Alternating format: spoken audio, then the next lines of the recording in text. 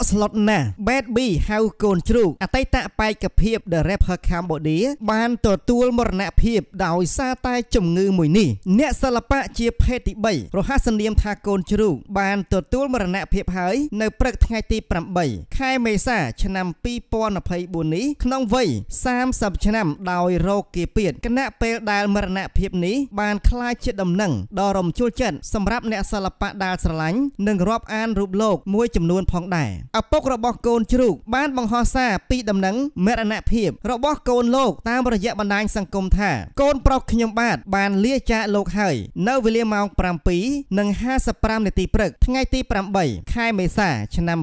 2024ដោយរោគគាពៀតក្នុងវ័យ30ឆ្នាំសូមប្រលឹងកូន បានដល់សុគតិភពកំបីឃ្លៀងឃ្លាតឡើយហើយកើតជាតិក្រោយក្រោយសូមឲ្យកូន មានជនមានយុយឺនយូរជានិច្ចសពតម្កល់ទុកធ្វើបុណ្យនៅវត្តឧត្តមរាវតី សង្កាត់គីឡូម៉ែត្រលេខ6ខណ្ឌឫស្សីកែវដែលបូជា នៅរសៀលម៉ោង3ថ្ងៃពុធទី10ខែមេសា ឆ្នាំ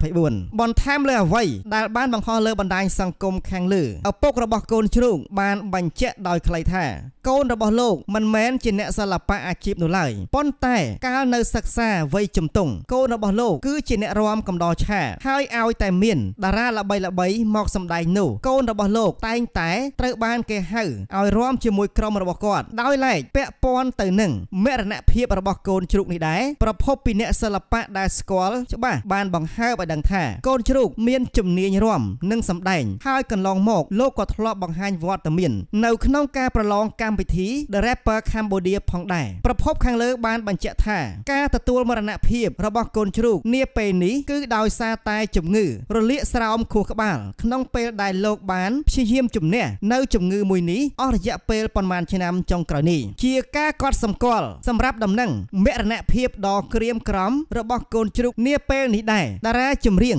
អ្នកនាងវ៉ាន់នីឡាបានបង្ហោះវីដេអូអំឡុងពេលដែលកូនជ្រូកចូលរួមនៅក្នុងកម្មវិធី The Rapper Cambodia អមជាមួយសំណេរខ្លីថាដំណឹងដ៏សែនតក់ស្លុតវាហាក់បីដូចជាលឿនពេកប៉ុន្តែប្អូនក៏បានសម្រេចនៅក្តីស្រមៃរបស់ប្អូននៅលើឆាក The Rapper ហើយចំណែកឯតារាសម្ដែងអ្នកនាងសាឡាត់ស្រីឡាក៏បានបញ្ចេញនៃការសម្ដែងវីដេអូខ្លីជាមួយនឹងកូនជ្រូកដោយអមជាមួយនឹងសំណេរខ្លីថាសល់តែវីដេអូមិនទាន់បានចាប់ផ្ដើមថ្មីផងកាម៉ាប់អើយអស់អ្នកឆ្លុះហើយហើយនៅក្នុងเพจផ្លូវការរបស់ The Rapper Cambodia បានបង្ហោះសារយ៉ាងក្រៀមក្រំថាពួកយើងពិតជាមានការសោកស្ដាយជាខ្លាំងដែលបានទទួលដំណឹងមរណភាពរបស់ទេពកសលអធិរាជ Bad B ដែលជាបេក្ខភាពជាទីស្រឡាញ់ពីកម្មវិធី The Rapper Cambodia នៅក្នុងកម្មវិធី The Rapper Bad B បាននាំយកថាមពលវិជ្ជមានភាពរឹងមាំនិងការខិតខំប្រឹងប្រែងយ៉ាងមុតមមដើម្បីតាមចាប់ក្តីស្រមៃ